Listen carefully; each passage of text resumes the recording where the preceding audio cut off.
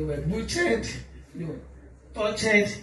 All their equipment have been destroyed by some macho men. We don't know where they are coming from. We don't know who sent them to come here and torture them. We are pleading, Ada, we are peaceful people in this community. This is a tourist area. All we need now is peace in the constituency so that tourists who come here will enjoy peaceful and serene atmosphere. Yesterday's event have put fear and panic in the community. A lot of our people are living in fear as we speak now.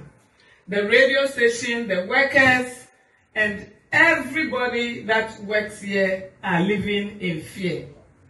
What have we done wrong to deserve this? Why should poor innocent people be tortured because they are doing their work? Why should we get here? And how did we get here? We are pleading with the authorities that we need security for Radio Ada, 24-7 security for Radio Ada.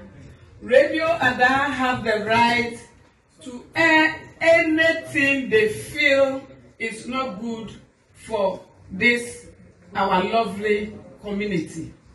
Radio Ada have the right to speak on issues that is bothering our lovely community. Radio Ada have the right to speak on issues about the Member of Parliament, to speak on issues about the DCE, to speak on issues about the district. They are our mouthpiece.